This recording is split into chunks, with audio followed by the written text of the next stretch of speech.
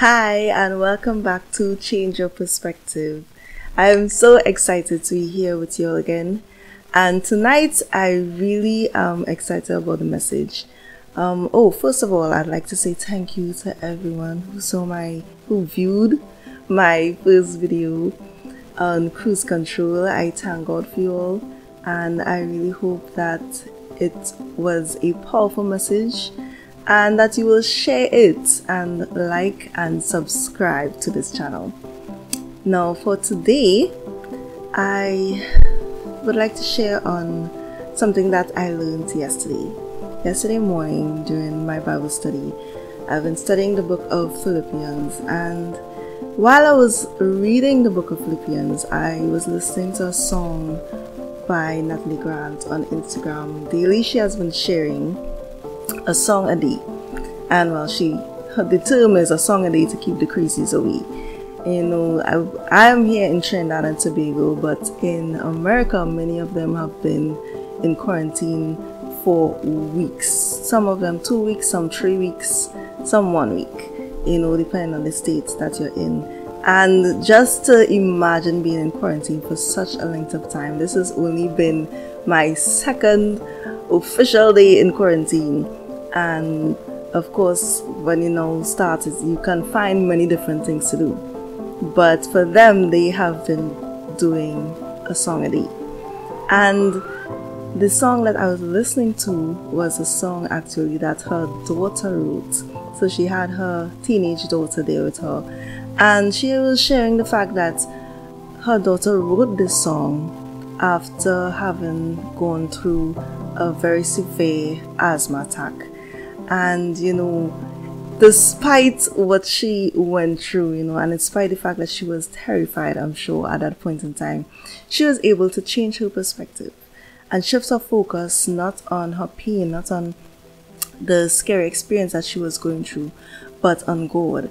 And so she wrote this song, you know, sharing and bearing her heart and her soul to God really and truly about how she was feeling, but still declaring to him that in this time she will turn her cares into prayers and her worries into trusting. I mean, y'all, just the lyrics touched my soul. It really encouraged me and it really blessed my heart to listen to this song, and I had it on repeat during my Bible study. And while I was listening to the song now and doing my Bible study reading the book of Philippians, I had this moment where it's as if the Holy Spirit downloaded in me that we need to be more like Jesus. Really, he was speaking to me. So he was letting me know that I need to be more like Jesus.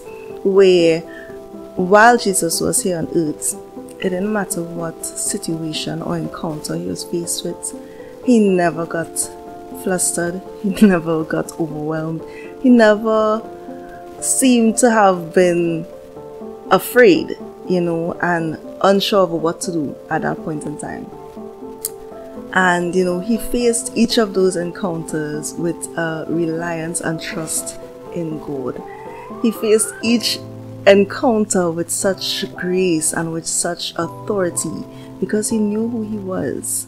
And it really impacted me, it blew my mind when, you know, I started to think about the various scenarios that Jesus would have encountered where, you know, he had the encounter with the woman of, with the issue of blood, you know, he may not have been expecting her to touch the hem of his garment. And yet, at that point in time, he knew how to handle that situation. He knew how to handle the situation where the centurion came to him and said, You know, I need for you to come and heal my servant. And Jesus was willing to go to heal his servant. And then the, the centurion told him that, you know, when I tell one of my men to go, they go. And when he tells them to do something, they do it. Therefore, Jesus, he believed, had the authority to simply speak, and his servant would be healed. And Jesus marveled, yo, this brought tears to my eyes when I thought about it. You know, having such faith, having that kind of faith. The centurion, knowing his authority as a man, believed now that Jesus also had that the same type of authority as God to heal his servants simply through speaking. And how many of us have that kind of faith? That's the type of faith that Jesus really wants us to have. And you know, I thought about many other scenarios that Jesus would have encountered being in a storm while he was in the boat the, on the sea and he was not afraid. His disciples got scared, but he was not afraid. Jesus was not even swayed by the fact that the storm seemed so very terrifying. You know, he stood and he said, Peace, be still.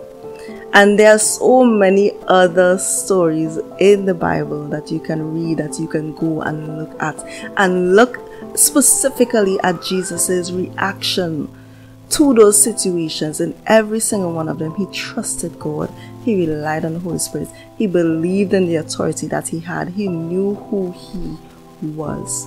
And didn't matter how hard that situation was, at no point in time did he say, God, why is this happening? God, why are you allowing this to happen? Or he didn't even say, God, you see, right now, I don't have time for this. Or I'm not feeling to deal with this amount of people right now.